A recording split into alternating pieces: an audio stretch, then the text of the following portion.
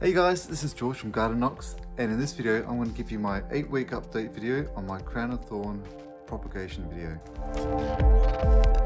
So about 8 weeks ago I recorded a video on how to propagate a crown of thorns from a cutting. So I'm going to depot the cutting, uh, have a look at the roots to see if this cutting was successful or not.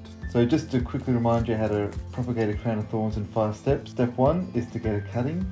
Step two is to dry the cutting out for three to seven days to let the end callus over. Step three is to fill a pot with appropriate potting mix. So that'll be a cactus or succulent type potting mix. Step four is to plant the cutting one to one and a half inches deep in the potting mix. And then step five is to water at the start and then once again every week or as required.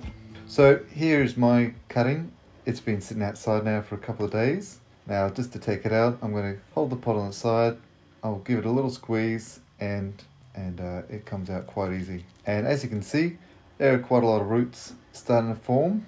Uh, this is after 8 weeks of growth, uh, mainly inside in indirect light. So I'm going to repot that plant today and uh, I'm going to just leave it outside now because it's got enough roots now to be able to support itself. So now that it's repotted, I'm just going to give it another water just to help the soil or help the potting mix settle in and I'm going to leave it somewhere that it's going to get lots of sunlight, indirect light for pretty much the whole day. So as you can see, propagating a crown of thorns is very easy to do from a cutting and if you want to see how to do it from start to finish, watch this video up here.